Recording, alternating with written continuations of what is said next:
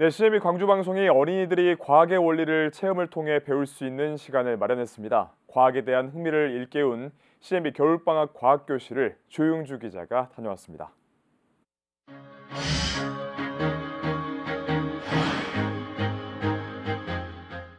수업에 참여하는 아이들의 눈빛이 사뭇 진지합니다. 선생님의 설명에 따라 차근차근 따라해 봅니다.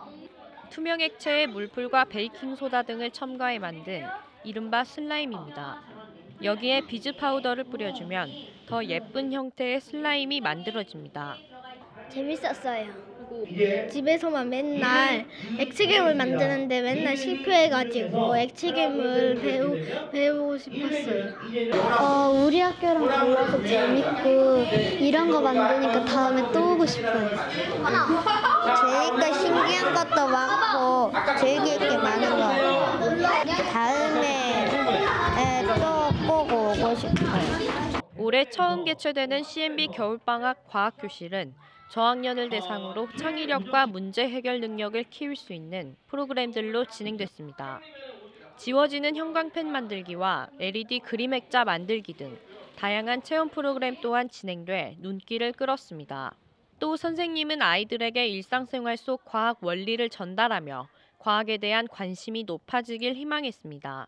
네, 어, 우리 친구들을 주위에서 만나보면 과학은 어려운 것이다. 그리고 재미없는 거라고 생각을 해서 별 흥미를 가지지 않는 친구들이 많이 있더라고요. 그런데 우리가 생활하는 삶 속에서 숨어 있는 과학의 원리들이 굉장히 많이 있고, 그리고 그게 우리가 놀이를 통해서도 충분히 재미있게 배울 수 있는 것이 과학이라는 것을 이번 과학 교실을 통해서 우리 친구들이 조금 더 재미를 가지고 과학에 관심을 가지게 되는 계기가 되었으면 해서 이런 시간을 준비하게 되었습니다.